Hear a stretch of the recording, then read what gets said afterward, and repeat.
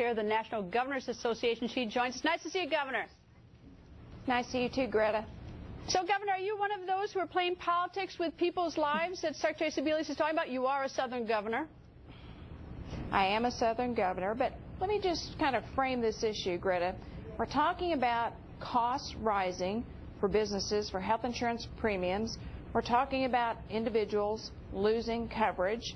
We're talking about 11 million individuals who know their insurance premiums are going to go up, and two thirds of small businesses know their insurance premiums are going to go up. We know that people are losing jobs because of Obamacare. We know that states are going to be hit with billions of dollars of new costs with Medicaid expansion and, and uh, other costs associated with this program. So what's the politics about that? It's just not good public policy, and that's why when the vote occurred on the Affordable Care Act in Congress, when I was a member of Congress, and the bill was rolled out in the middle of the night and voted on the next day, and you saw all the Republicans vote against it. You know, we believed then, and we still believe now, that it's unworkable, it's unaffordable. That's why you see so many time delays on the legislation right now.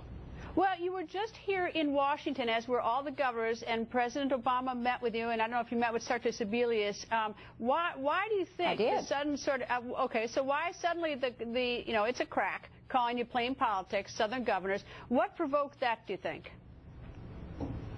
You know, I'm not really sure. I, I did see Secretary Sebelius, and I know she's got a really hard job, and it's I've talked to her many, many times as the chair of the National Governors Association, and each governor has to do what they, they think is best for their own state. We all have unique circumstances. We all have our own political philosophy. You know, I choose as governor of Oklahoma and as a Republican conservative governor to do one thing. Others choose to do other things, but you know, I think you have to put the blame back to where it belongs, and that is who is it that's administering this program? Are they helping you at all to the extent that uh, your state needs help from the federal government in trying to implement this law? Um, I know that you're probably not in favor of the law, it wasn't uh, your choice, but uh, are they helpful and receptive, or are they just sort of slapping you around with a crack?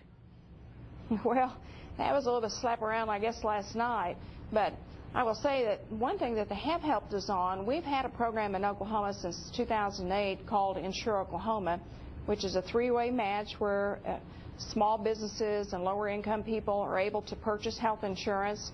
A program we set up to where the individual pays a small portion, the business pays a portion, and then there's some matching funds for that and it's worked very well for Oklahoma. We got notice last year they were going to discontinue it last December. I asked for an extension of the program. I said it's working. It's providing health insurance to low-income people, helping small businesses. Let me keep that.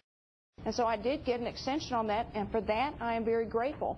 And one of the things that we heard at the National Governors Association meeting this weekend is that states are are laboratories of innovation. There's some great programs for being able to cover more people with health care, being able to, to help lower costs. Let states have those waivers, have the flexibility so they can innovate, create, and certainly to improve access to health care in the nation.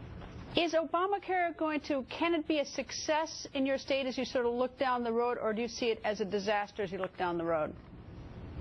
Well, it hasn't had a, a rollout that's been very good. I mean, we saw time delay after time delay.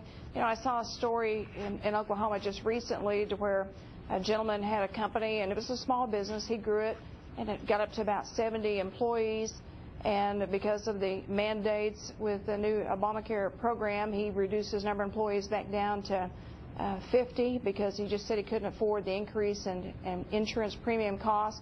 And then all of a sudden it gets delayed again, so he let people go, let their jobs go, and so now they have no job and no insurance. So, you know, we've seen a lot of problems with the implementation of the law itself, a lot of delays, which to me is an admission that it's just not working the way it was intended to work. Governor, nice to see you. I hope things are okay after that Oklahoma tornado. I hope you're getting your state back up on its feet because I know you got hit pretty hard. Thank you, Governor. Thank you. Appreciate it.